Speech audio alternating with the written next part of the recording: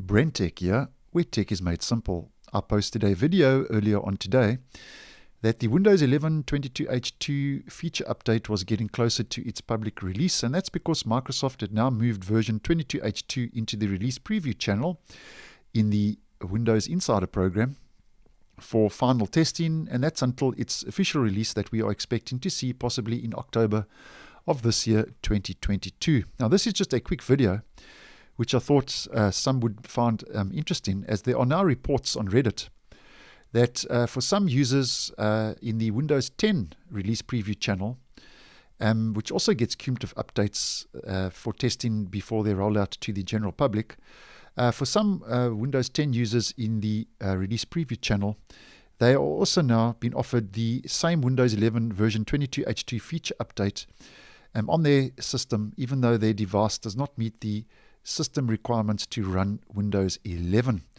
Now, this is just a screenshot posted by a user on Reddit um, uh, in the release preview channel for Windows 10.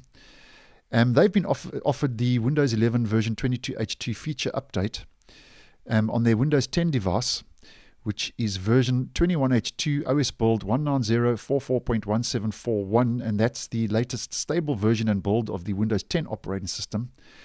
And they've been offered the update on unsupported hardware because their processor is an Intel Core i5 7200U CPU, and that is not a supported uh, CPU. So um, they've been offered the Windows 11 upgrade um, on unsupported hardware in the release preview channel for Windows 10, um, even though their hardware does not support the minimum system requirements to run Windows 11. And that's quite interesting as there are numerous reports that are rolling in on Reddit now. And this is actually not the first time this has happened uh, in the preview versions of Windows 11.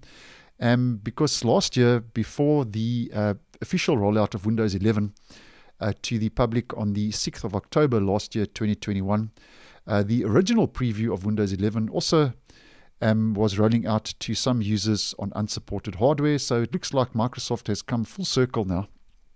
Um, and at this stage, uh, we don't know if this is going to continue, where they're going to um, keep offering um, um, the uh, update on unsupported hardware at this stage, or if it's just a glitch, so-called, in the matrix um, over at Microsoft. But with most most uh, things to do with Microsoft, um, only time will tell, and I will keep you posted accordingly. So thanks for watching, and I will see you in the next one.